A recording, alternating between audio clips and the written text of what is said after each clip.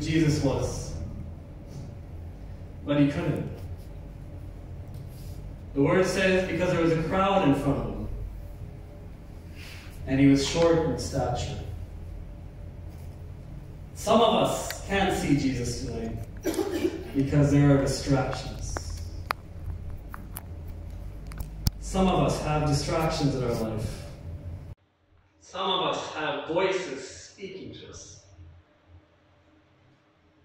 But the voice that we're hearing is contrary to the Lord.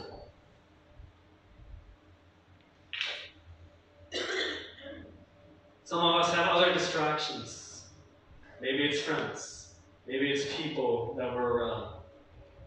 And that is causing us not to see the Lord.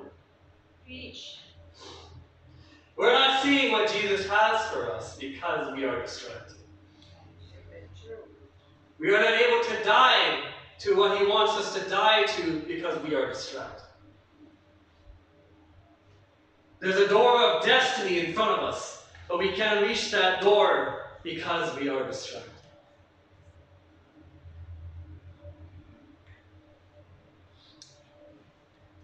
So, what did Zacchaeus do?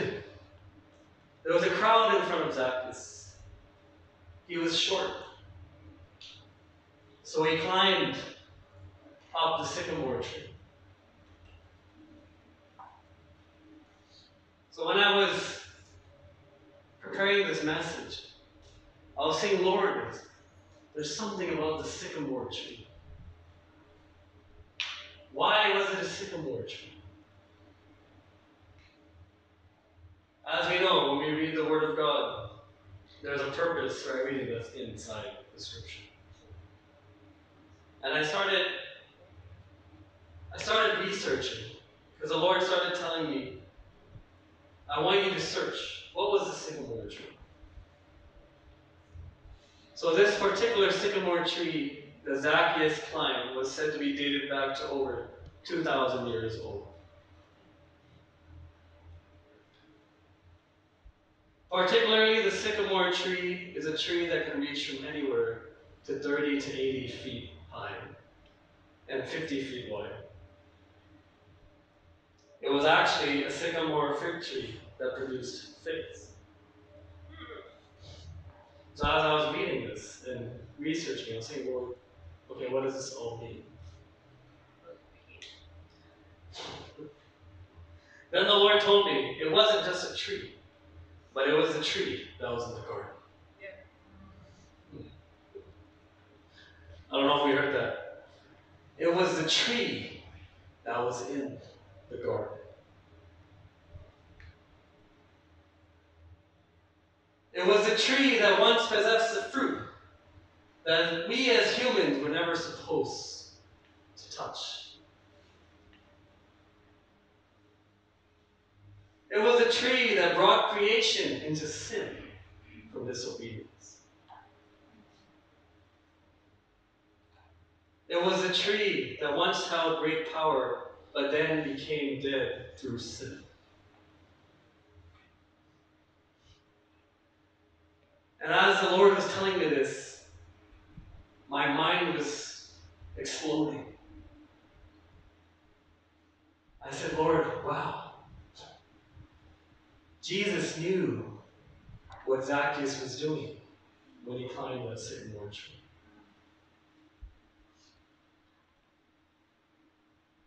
See, Zacchaeus, we look at uh, his life, he was a sinner. He was an ultimate sinner. But he knew something that the only way that he could get out of his life of sin, out of death, was to find life. The only way tonight, and I'm praying that the Holy Spirit reveals this revelation to us. The only way that we can get out of our life of death tonight is by finding life in Christ. The only way that we can leave the life that is disobedient to Christ and going against His will is if we are able to climb that sycamore tree of our life.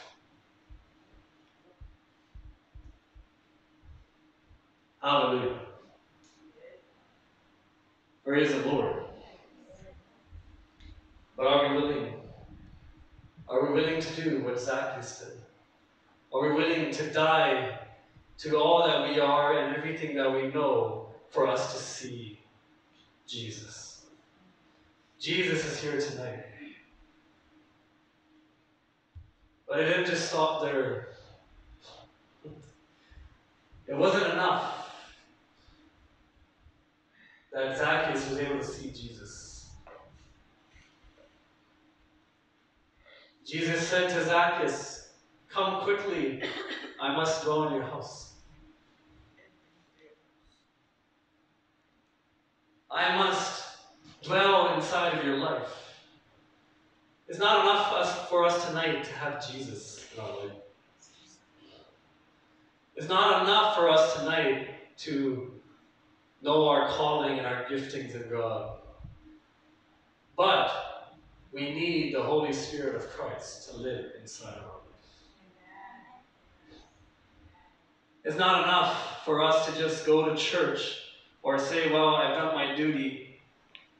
I went to Sunday service or I went to home church. But I'll stop right there. I won't go further. This is the kind of Christian I'm going to be. Everything else, Lord, no, I won't give to you. I don't know who the Lord is speaking to tonight, but it requires for us to die.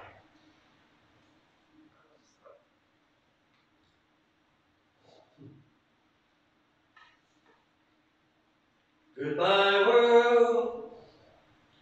I stay no longer with you. Goodbye, pleasures of sin. I stay I made up my mind to go God's way the rest of my life. I made up my mind to go God's way the rest of my life. Come on, sing it. Goodbye, world. I stay no longer with you. Goodbye, pleasures of sin. I made up my mind to go God's way the rest of my life. I made up my mind to go God's way the rest of my life. Hallelujah. That's what Zacchaeus did that day when he decided to climb the sycamore tree. He said, Lord, I know I'm a tax collector. Lord, I know I've done such bad, but I just need you, Jesus. The Lord is speaking to us tonight, some of us. It doesn't matter what you've done. It doesn't matter what situation you're facing right now. It doesn't matter what struggle you've had over and over again. As long as you're willing, you're willing to have Jesus enter into your life, that's what matters. As long as you're willing to let go of the life that you live now so God can take you further. That's what matters. So Jesus said to Zacchaeus, It's not enough that you've seen me, but I need to come quickly. I must dwell inside your house. And you see, here's the amazing part. Once this happened, people started to question. People started to question what, what is going on? Why is Jesus dwelling inside the house of a tax collector? I don't know if you got that. Why is Jesus want to dwell inside the house of an ultimate sinner? I'm just paraphrasing. You might think tonight, Jesus, everything that I've done, why would you want to come into my life? Why would you want to dwell inside every part of my life? I'm not good enough. I'm not good enough. There's too much shame in my life. There's too much guilt. I've done too much wrong. There's no way that I can come back from what I am. But the Lord was saying, no, it doesn't matter. As long as you're willing to die, as long as you're willing to give up yourself, I can come and live inside you. Because there's a reason, you see. There's a reason that Jesus wants to live inside of our life. Because it will glorify the name of Jesus. It will glorify the name of Jesus when we allow Christ to live inside of our life. But when Jesus doesn't have full control of our life, his glory is not allowed to be revealed and shown. Because then you see after in the scripture, Zacchaeus was so excited. He said, Lord, I will give back everything that I took. I will return it all back. And then what did, what did Jesus say? Jesus said, To your house has come salvation.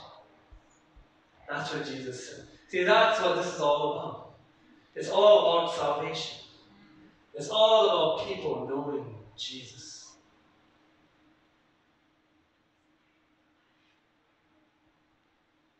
You know, I was at work just this last week, and the Lord is showing me the same message. Most people know I'm very bold and crazy. Look like I'm crazy. On the back of my airport vest, I have scripture. Because the Lord told me, I want you to put this specific scripture on the back of your vest. And I said, Lord, you know this can me fired, right? Like, it's okay. I'm covering you in my favor. And he told me to put on there Proverbs 14 12. There is a way that seems right unto man, but that way will eventually lead to death. I said, Wow, Lord, any scripture you tell me to put this one on the back of my list. Just put a target on the back of it. So it was interesting. I was working, and it was uh, the first time ever this happened in my life. Two Sikh people came up to me because they always saw me reading my Bible in the lunchroom. And then they came up to me and they said, Hey, we always, we're just wondering, you know, why are you Christian? You're always reading your Bible. And so then when they said that, I was, I was asking the Lord, okay, how do I respond to them? What do I say to them? And then I said, I want to, I'm curious to know, why are you asking that question? And they said to me, recently we've been seeing a lot of Sikhs coming to Jesus. Amen. Praise the Lord. And I said, wow, Lord, this is amazing. Right in the middle of my workplace, you're allowing me to preach the gospel to these Sikhs.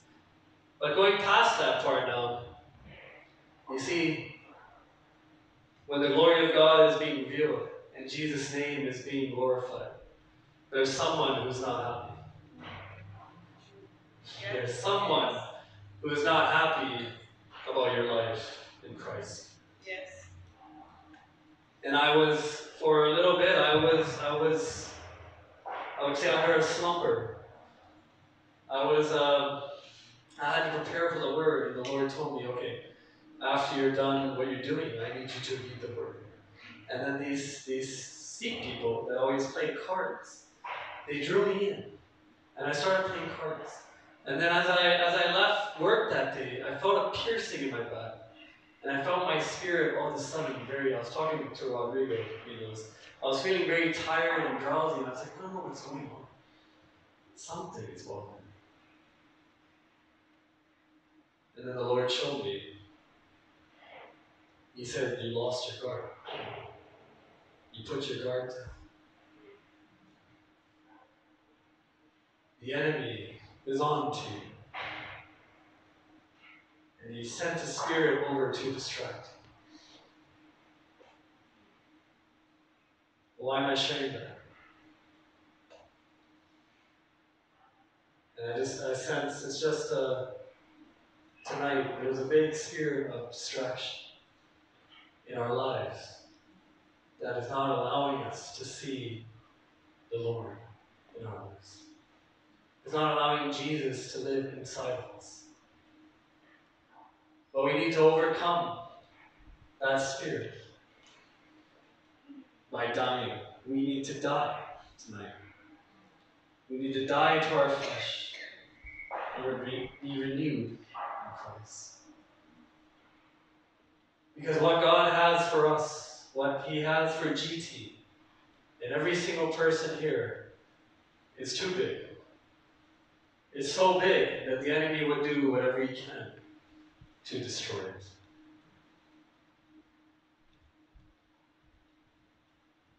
Praise the Lord. I believe this is what the Lord is saying to us tonight. That in order for us to die to our flesh, we have to be like Zacchaeus. We have to climb the tree of our lives so we can see Jesus. We have to let go of our flesh. We have to let go of the things that we desire so the Lord can have full control. Like, past, like Apostle Ali's been preaching, this is a time where if we miss the glory of God, we will miss what God has for us.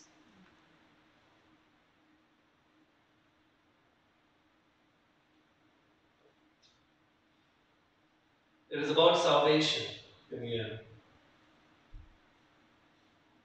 What the Lord is speaking to us tonight is about salvation.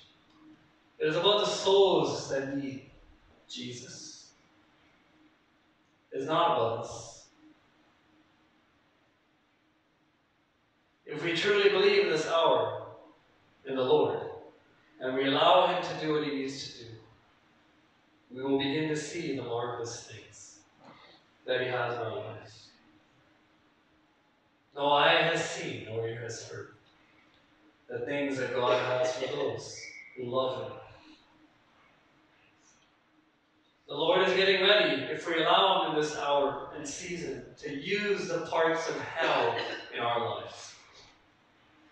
I don't know about you, what you're going through, but there's definitely a hell that I'm going through in my life right now. But Jesus is greater. Amen. Praise the Lord. There's a hell that wants to stop you, but Jesus is greater. There's a bunch of garbage going on in your life.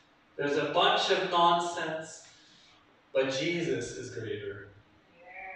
There are distractions that want to take you under, but Jesus is greater. Amen.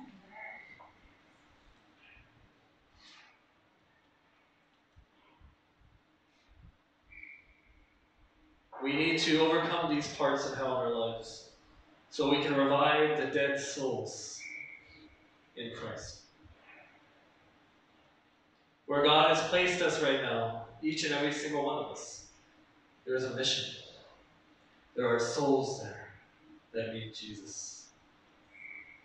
But if we let if we let our flesh come in, we will miss what God wants do. We will miss it. And we will regret it. Yes. So I pray that we heed to what the Holy Spirit is saying to them. That we will lay it all here at the altar tonight. That we will let go. That we will give it up to the Lord. And allow Him to do what He wants to do tonight. Just going to turn it over to Brother now. Oh, sorry. I had a song. Uh, there's a song that I just want us to listen to. Allow the Holy Spirit to just minister to us through this song.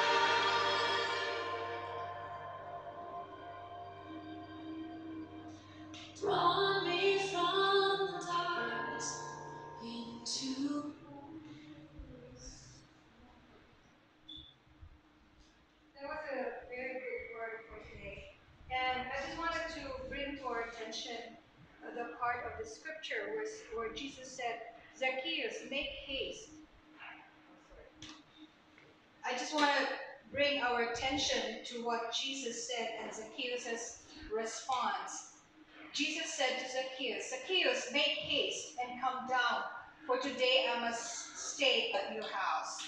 And how did Zacchaeus respond? In verse 6, it says, So he made haste. So Zacchaeus made haste and came down and received him, meaning Jesus, joyfully. So it's very notable that in the Bible, when a word is repeated, when it is said twice, we have to pay attention to it. So Jesus commanded Zacchaeus to make haste and come down from the sycamore tree. And then it is recorded that Zacchaeus responded to that and he made haste and did it joyfully. But the people around him said, they complained that how come he's a sinner? And let me read it. He has gone to be a to be a guest with a man who is a sinner. So these were the destructors. They knew Zacchaeus as a sinner, and they made all made, they made these comments. But what was the response of Zacchaeus to these comments? He returned what he had stolen. In verse 8, it says, Zacchaeus stood and, and, and said to the Lord, Look, Lord, I give half of my goods to the poor, and if I have taken anything from anyone by false accusation, I restore fourfold. My point is, when the Lord called Zacchaeus to make haste, he responded in haste. When we hear the call of the Lord, do we respond in haste to him? Or do we dilly dally? Or we, we make him less of a priority in our lives because there are other um, uh, priorities in our, in our lives. It can be work, it can be our spouse, it can be our children, it can be school, it can be anything else. But Zacchaeus, who is a well-known tax collector, who probably became rich because of overcharging people, or, or maybe he uh, stole from, you know, from, from, from the purse of, of, uh, of, of the government when he collected the taxes. But when he saw Jesus, he was so excited to see Jesus, although he was a short man in stature, he made the effort to climb the sycamore tree and he responded in haste. In our lives today, when we hear the call of Christ, whatever it may be, it may be in the exercise of our gifting, it may be in, you know, the Lord wants us to serve in this church, in whatever capacity we are called. You can be called to be an usher, you can be called to uh, set up the chairs or take down the chairs later on, whatever it may be. Do we make haste or do we hesitate? Is there any other priority in our lives? It is my prayer that we will respond like Zacchaeus did. When the Lord, when we hear the call of the Lord to make haste, we should always make haste because we know that the time is short and it is even shorter. So when we hear the Lord, I believe that all of us here, and even the ones listening online, we all hear the voice of the Lord. Amen. Because if you don't hear the voice of the Lord, there is something wrong right? So when we hear the voice of the Lord, whatever He is calling us to do, or whatever He's telling us to do, we have to make haste and not entertain any doubt in our hearts that we are actually hearing from the Lord. And if you're called to do something, do it with haste, because it may mean life and death for someone, it may mean a blessing or, or for someone, and if we do not make haste, we may be robbing someone of the blessing that the Lord intends for that person to be given by us or through us. So this is a, a very uh, timely message that Brother Vic shared with us tonight because the call is urgent in this day and time. It is very urgent. So whatever the Lord has called each one of us individually and collectively as a family, as the Gospel Tabernacle family, we have to respond in haste. There may not be tomorrow for us. There may not be tomorrow for the person that we are meant to bless with whatever the Lord is asking us to do. So we are paying attention because the Lord repeated the word make haste and he responded in haste. So there is there is a uh, I can call it a method. Jesus said, Come in haste. And he did.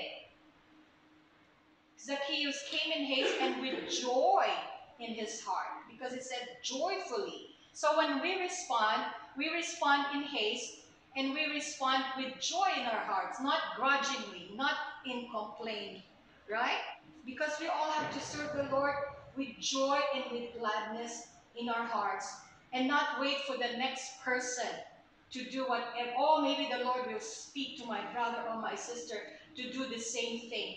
No, because we are called individually. And when we respond to that call individually, we are we are responding also corporately because there are things that need to be achieved by the body of Christ, by gospel tabernacle.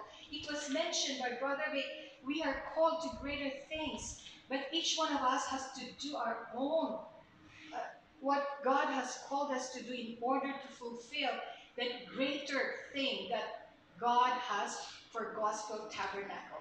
Are we ready to make haste in responding to that call? And are we ready to respond with joy in our hearts? I believe that is the question for tonight. Are we ready to make haste when you hear the voice of the Lord calling you to do something? And are you going to do it joyfully or grudgingly or with complaints in your heart? I pray it would be the former than the latter, that we would respond speedily and quickly and with joy over over abundance of joy in our hearts. Amen. Thank you. Praise the Lord. Um, I just want to quickly share. I I I, I can invite the praise team up um, to to hear, but and I want to bring it back. I believe I um, Sister Elsa is going to tie into everything, and, and I believe we need to respond with haste in what God has for us today. You know, you look at you look at what Vic was talking about, the distraction. Is really the distraction just about our situation? About about how how is, is there just hardships if you look in the bible it talked about the crowd and what vic was uh, brother vic was describing as a distraction was the crowd itself and can i be honest he was short. Uh, Zacchaeus was short. He was short in stature. So he climbed up the sycamore tree because he couldn't see further than the crowd. And he was distracted by the crowd because he couldn't even see Jesus. Can I put it this way that we often look at the crowd before we look at Jesus? What's going on over there? I see people. So I'm just going to follow the people. I'm going to be with the people. Eventually, I might see what's happening, but I see people right now. There must be something good going on, or there must be something very entertaining going on. But we aren't called to follow people, we aren't called to crowds. Jesus has already said that there will be a division within the church. There will be a division from the goats and the sheep. There will be Christians putting Christians to death. We will have people. You know, the the Christianity might seem so big with many churches and many people, but it's not about the people and how big an organization is. And I want to push you guys to, to tonight to think about for yourself. Put yourself in Zacchaeus' shoes. Because that day, when Jesus was passing through Jericho, it was not for the crowd. He passed through for Zacchaeus, and Zacchaeus alone. That day was a day of salvation for Zacchaeus alone. And if we follow the crowd, would Zacchaeus be saved that day? Would his household be saved that day? No. No, no. No, he he made an effort because he, he knew that this was for himself. And I want to bring it back again to the story of the, the chickens and the eagles. Christians are putting each other together. They, they think there's power in unity and all these things. But really, Jesus is the only one that can bring us higher, that can take us from glory to glory. And chickens often huddle together. They, they go in crowds and, and they eat together. They, they, they lay eggs together. and they, they do whatever they want together. They, they stick together, but eagles don't. Eagles soar alone and high, and, and they do their own things high. I believe the sycamore tree was a description of where God wants us to be. In the high places. In the high places where we can see Him and not the crowd. That we can oversee the distraction in our lives. That we can oversee what the enemy is doing and see what Jesus is really doing over there. Because these crowds, there are so many people, they hear, oh, Jesus is probably saying this. Oh, maybe he's saying this. Or maybe he's saying this. And then once the message, the, the, the game of telephone passes back to the crowd, the whole message is different. And oftentimes that's what it works in, in Christianity, eh? The healing happened there in Africa. Then we tell it to stories here, and then we keep telling more and more and more. Sometimes the story changes, sometimes it doesn't, but we don't see Jesus. We hear good things, we hear miracles, but we don't see miracles. Zacchaeus was not was not satisfied with that. So he climbed up the sycamore tree. He went higher. He says, he says, I have to see Jesus for myself. For myself. Because we were born to have an individualistic relationship with Christ alone. And you know what's beautiful about the body of Christ? You know what's beautiful about it? Is that there's different parts. I can tell you this right now. I got this image in my head. It's a, not a good image. But think of a think of me. Look at me right now. Okay? Imagine if I have a 12-year-old hand and the 16-year-old's legs. I look like a freak. And I won't be able to walk.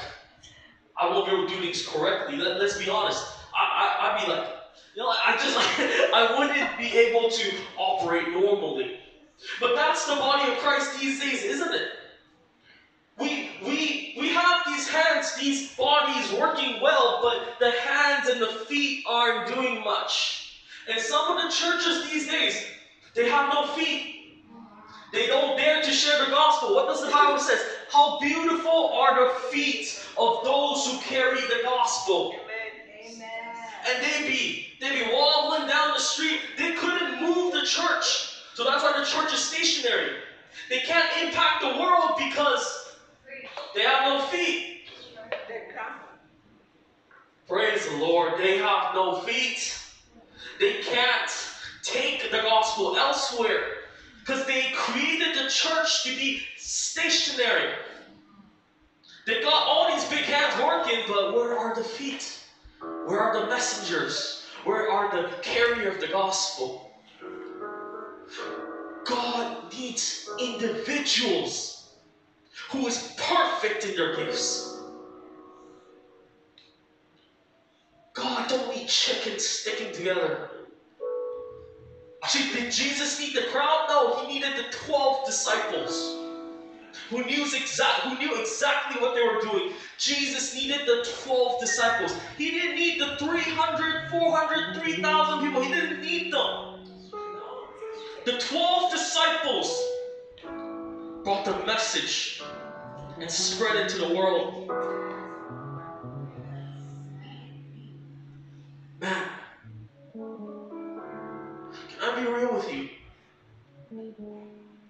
When we look to Jesus, if we look at people around us, then we're in the wrong place.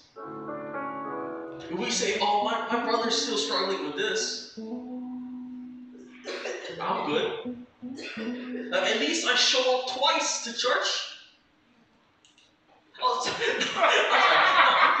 At least, sorry. No, at, at least I show up. My brother over there don't even show up to church. At least I serve on the praise team. But let's be honest, if you serve on a praise team, that means you have to show up. And sometimes you don't want to show up, but you have to show up. And sometimes it's not a it's not a want, it's a it's just I have to. It's an obligation. And I seasons, they need to come to church, they need to force themselves to go to church, and it's okay. But can we stop looking at other people? And can we be real with ourselves at this moment? Are we climbing up the street? Are we going to the high places seeking for Jesus? Or are we distracted with the crowds? Are we looking at people around us and, and trying to determine if we're close to Jesus by the crowd? If I'm that close to Jesus, you know I'm close. Look, at least I'm close. If, if Rodrigo is Colombian Jesus, okay? I'll tell you, if crowds surrounding him because he's too handsome, wow! I'm closer to him than Shirley is. I'm closer to him than Omo is. Then it stopped being about Jesus. It started becoming about Omo, Shirley. It started becoming about them. And not about ourselves. Your relationship with Jesus is with Jesus. No one else, no one else can take that away. It's all our choice. That's why it's so, it's such a prevalent message at this moment. Because God is building this church. And I love it. We, we work together. We did. We still work together. For the past three years, we worked together as a church. We work well. Okay? Me and Emery, we, we get along well. Me and Emery, we get along. We, we worked together. We work. Everything worked. But that is not enough anymore. Because God's building His church. And His church has a body. And His church has a body with different parts and different anointings, Yes. different giftings. And if we don't all rise up, there is no balance. We won't become the church that He has perfected. We'll become some screwed up Build-A-Bear kind of thing. You know? It, it's it's just you, you put whatever hand you want, you put whatever leg you want. But but that that's not sustaining. That's not that's not the church of God. He will perfect his church. He will perfect his church. That's who Jesus is. And that's why at this moment I believe the message he preached is so prevalent now. Because uh, God wants you to seek inside you. Look inside you, look inside you so you can go higher and seek after him so you know. You know who you are. You know who you are. And all the sins that you've ever done. You know what Zacchaeus did? He blessed other people with it. He gave back half of everything he had. He repented and he blessed the people with it. Ever since that day on, I believe Zacchaeus became a good tax collector, most honest tax collector, and everybody who loved to go through him. And he blessed other people with it. Praise the Lord.